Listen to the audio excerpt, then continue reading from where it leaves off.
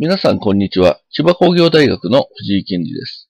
これより、私の研究室で行った建築耐震構造ゼミナール実験2016についてご紹介します。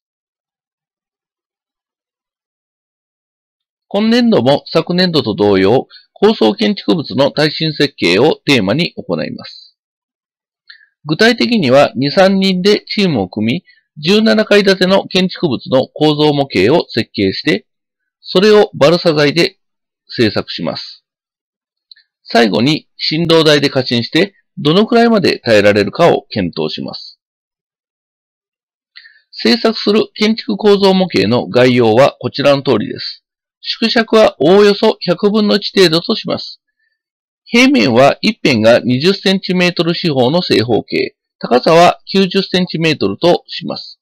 階高は最下層が 10cm、2層以上では 5cm で17階建てとなります。イメージとしては20メートル四方で高さ90メートルの高層建築物です。模型の材料は 4mm 角で長さが 90cm のバルサ材です。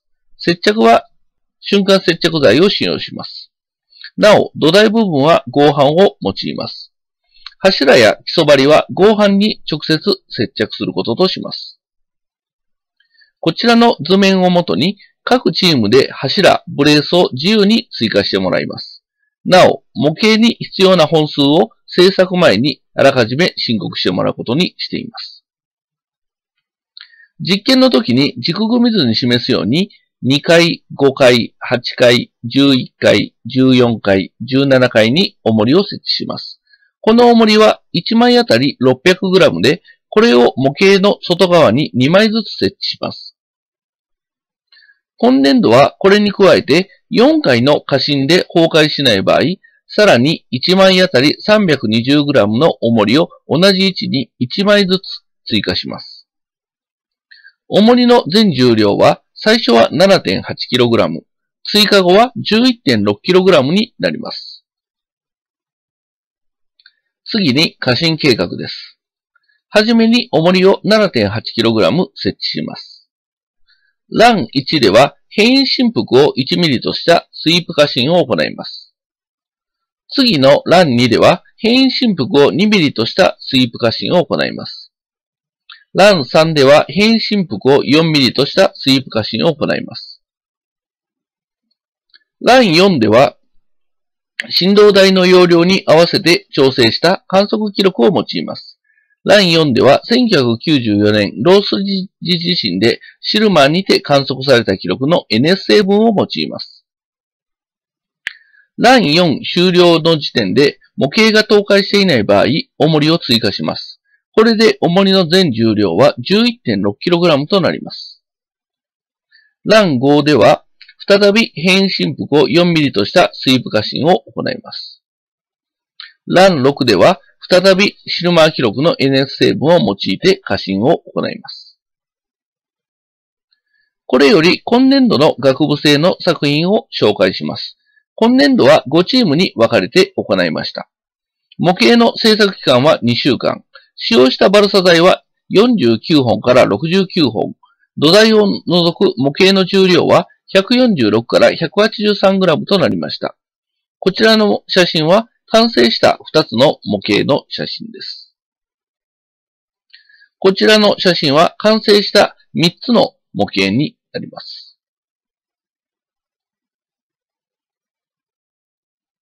これからモデル1の実験ビデオを見ていただきます。この模型で使用したバルサ材は59本。土台を除く模型重量は 146g となりました。それではビデオをご覧ください。今揺れてますか？まだ揺れてないよ。今日だけ小声じゃないらしいカズマだからね。おおい。おー。怖え全然こんなん序の口でこ大丈夫大丈夫。れ崩れたらおいって言ってるいい音したマジ完全にブレーストれたじゃん。あ、ビデオ一回ストップ。壊れる。言わなかったよあれ多分熊本県地震が起きない限り壊れない。帰ろう俺この回でもうそろそろやばいって帰ってくれああダメじゃないお頑張れ頑張れ頑張れ頑張れ頑張れ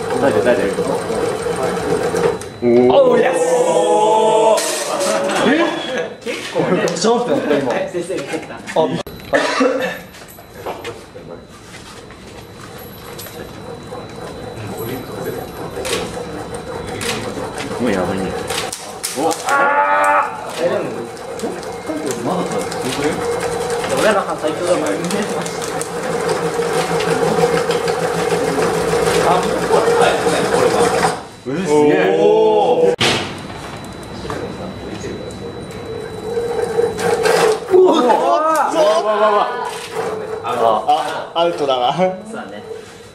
根元が取れちゃった。えー、あんなもろくなるの結構ガンって。これうちら去年逆だったからこれで4隅での柱脚部が浮き上がり、全体的に倒れるように崩壊しました。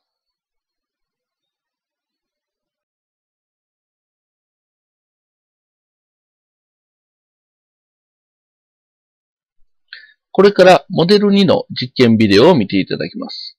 この模型で使用したバルサ材は57本。土材を除く模型重量は 158g となりました。それではビデオをご覧ください。最初は緩いやつね、最初は。これやばいな怖いのめっちゃまあ、こ、ここでは潰れないよ。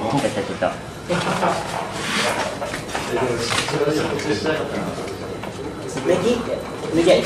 ネギ。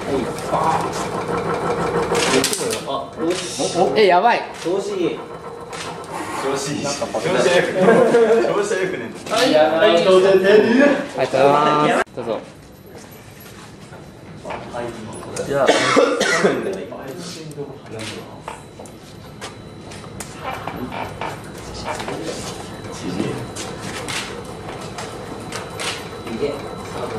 真ん中から折れろなんか嫌な音したな。あーあれどっか外れてるなれてるねあでも結構いい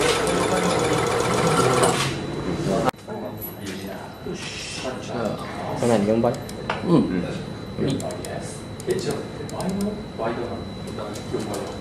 もうやばそう今度は振幅4ミリ。最初の4ミリ。やばいなちょっと取れたどこが動いてんのあれ外れただけどっかが外れてるんですうん。どっかが取れ4回目やばいね何かあるやつ下が揺れるやつ別の振動いった瞬間これ俺は青わこれこれはどうですか？ちゃった。はい。はい、これでそう。えマジ？下から3つ目の重りを支える針が落ち、手前に大きく傾きました。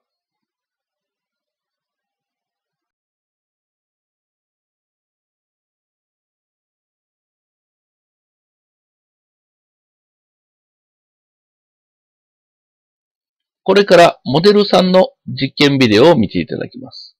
この模型で使用したバルサ材は62本。土台を除く模型重量は最も重い 183g となりました。それではビデオをご覧ください。じゃあ最初は一番弱い1ミリ。はい、1ミリでします。最初怖いまあ、一発で死ぬってことはないけどね。フラグを立ててください俺も離れんだよ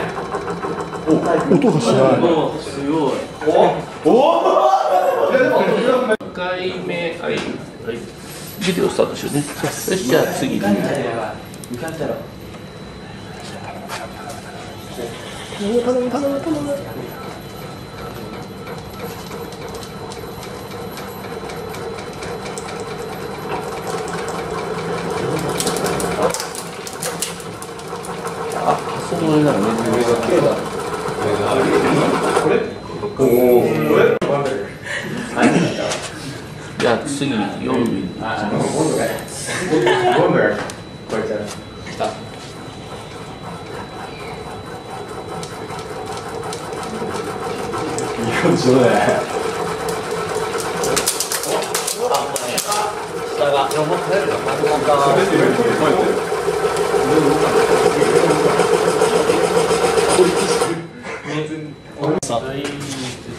スタート。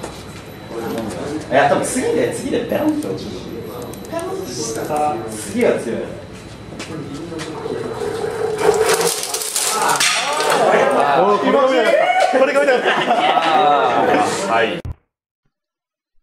ラン3の途中で下から3つ目の重りのすぐ上で炭柱が折れて重りが下がり、ライン4でその上部が手前に倒れて崩壊しました。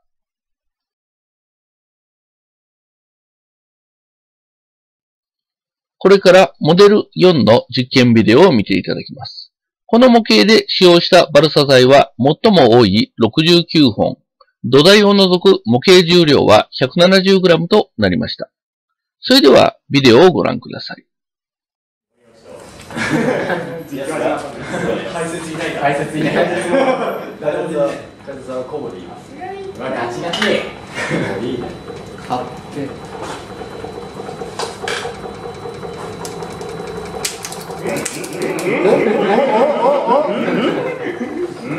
青いがすごい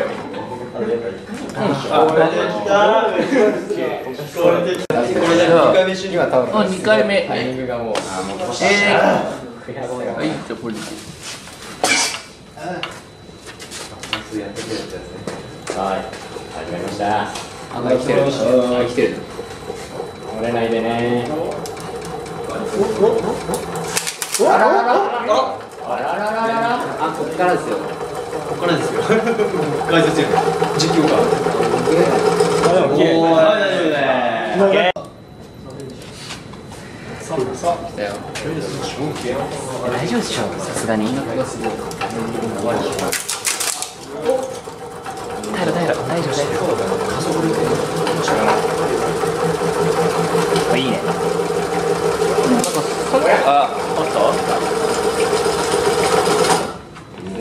あれによってグラフがちょっと変わってきますだね。最後見届けよはい、じゃあスタートした。崩壊が欲しいでかいやつ作るじゃん速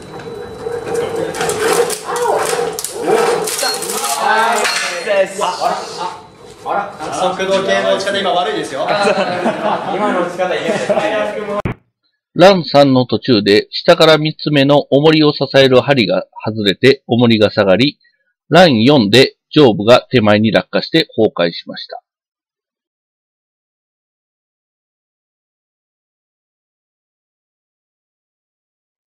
これからモデル5の実験ビデオを見ていただきます。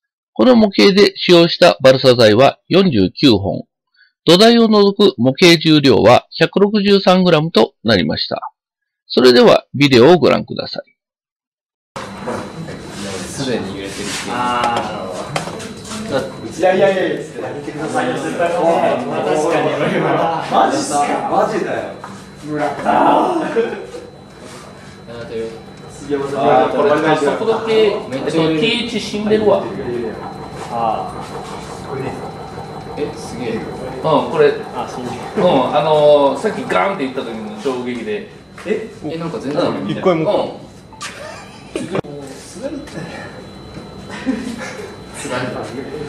ここじゃんいやみんな最近。おおすげええすごくね？やば強い。やっぱ温度じゃない？温度。完全に。温度じゃねやばいね。燃える気配がない。最初は。しいいやでもまだえ？モードあの途中から。ちょここまで行けばえ一番下までられてないえ？やばい。やば一番最初あんなに調子乗れたのにね。どうして急に消してたの？真面目じゃないかよえ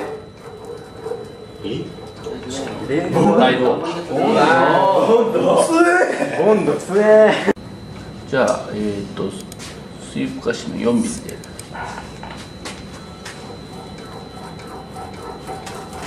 これでしょいやこれ強いんだよあ違う。あれか重りが。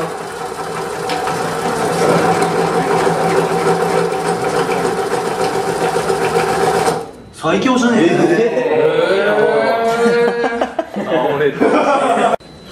じゃあ、さっきのやつもう一回やってみよう。さっきの自信作で。応援したくなってああ、やばい。ラン6で画面右の墨柱が折れ、上部が回転しながら崩れ落ちました。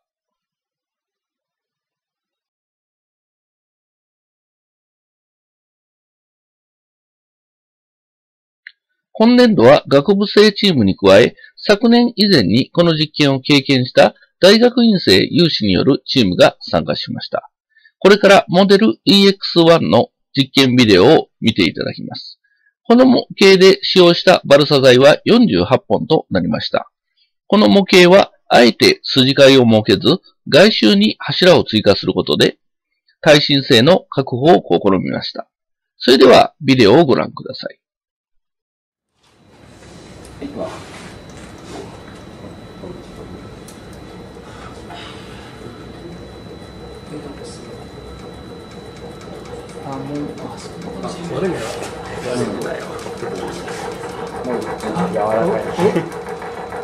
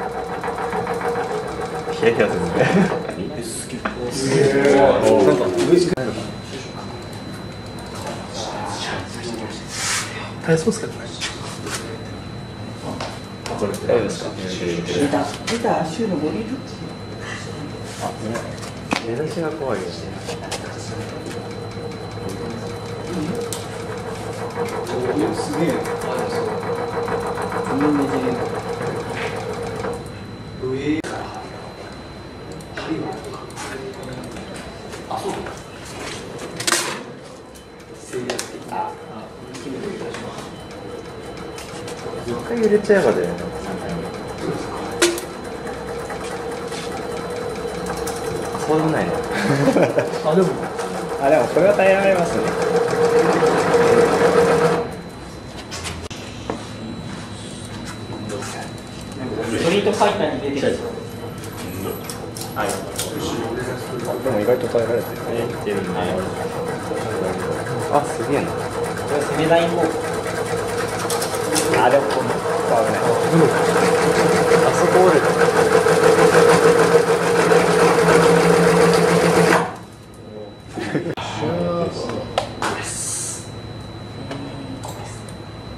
たマジでこれ。狙われ。る一番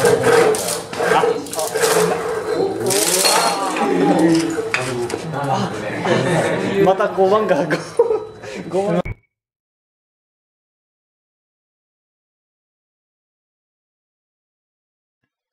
一番下の重りの直上で手前の柱が折れ、その上部が奥に倒れるようにして崩壊しました。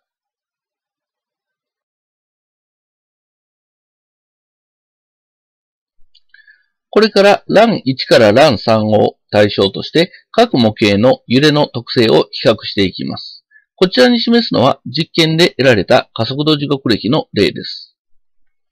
この記録に対し、風鈴変換という処理を行い、揺れの特性を調べることにします。得られた揺れの特性をこちらに示します。これは風鈴振幅の比を振動数ごとに示したものです。図には最上階と大表面、並びに中間階と大表面での振幅の比を示しています。振幅の比が最も大きくなっているところに着目します。この赤い点線で示しているところが模型の最上階並びに中間階での加速度が大きく増幅される振動数を示しています。ここがこの模型のこの過信での一時の固有振動数となります。そこで各模型について欄1から3での固有振動数の変化を調べてみます。この図では模型を5な構造模型と10な構造模型の2グループに分けて示しています。この両者の違いは欄1での固有振動数の大小で、固有振動数が高い模型はそれだけ5な模型、低いものは10な模型となります。左の図より5な構造模型では、欄1では固有振動数が5から 6Hz であるのに対し、欄2、3と進むにつれて固有振動数が著しく低下していることがわかります。5な構造模型では、欄3での固有振動数は欄1の0.42から0.64倍となりました。このことは合成で考えれば欄3では欄1の0.18から0.41倍に低下したこととなります。一方で、右の図より10な構造模型では、欄1では固有振動数が 3.9Hz 並びに 1.9Hz と低いこと、並びに欄2、3と進むにつれて固有振動数が緩やかに低下していることがわかります。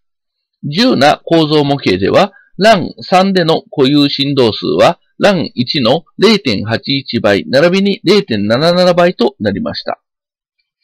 このことは合成で考えれば、欄3では欄1の0.66倍、並びに0.59倍に低下したこととなります。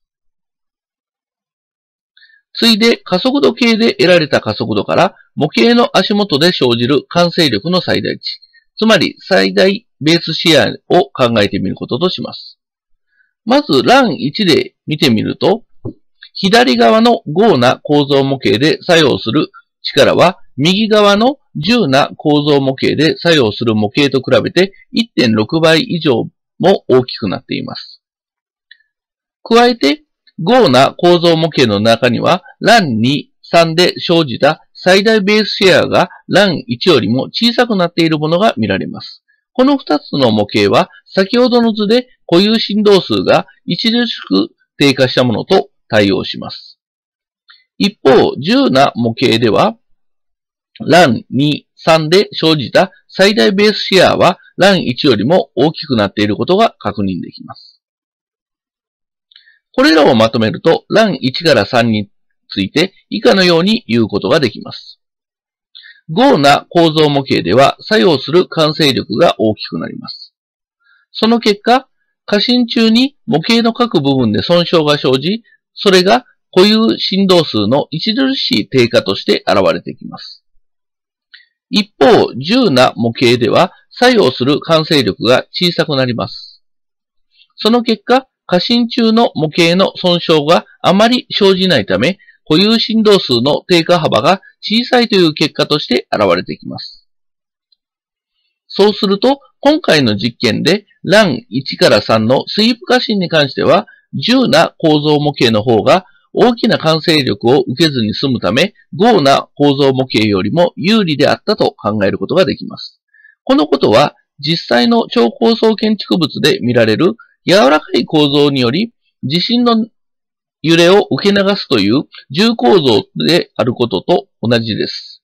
ただし、実際の地震動は欄1から3で用いたスイープ過信とは全く違うものであるので、実際の高層建築物の耐震設計は、ここで述べたものほど単純ではないという点に気をつけてください。